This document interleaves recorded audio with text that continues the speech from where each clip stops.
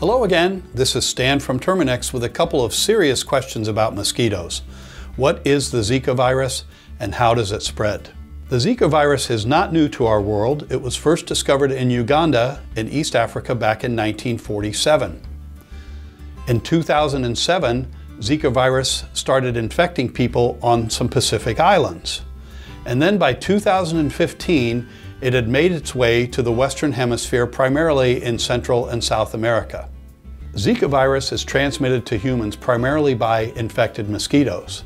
The primary culprits are the yellow fever mosquito and the Asian tiger mosquito, both of which are aggressive daytime biters, although they will also bite in the evening. The best defense against the Zika virus is a strong defense against mosquito bites.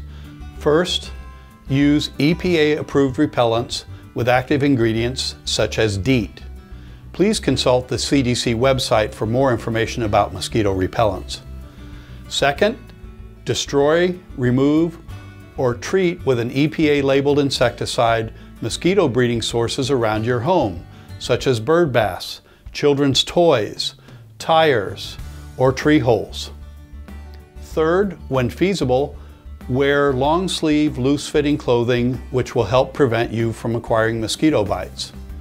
Fourth, make sure that the screens on your home are in good repair and don't have any holes through which these pesky mosquitoes might enter to bite you. And finally, please remember if you're traveling overseas in many countries, mosquito-borne disease is much more common than it is in the United States, so be sure to take all of the precautions that we've just discussed above.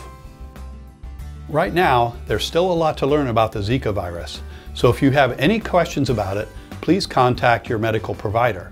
And if you have any questions about mosquitoes or mosquito control, please call us. And as always, thanks for watching.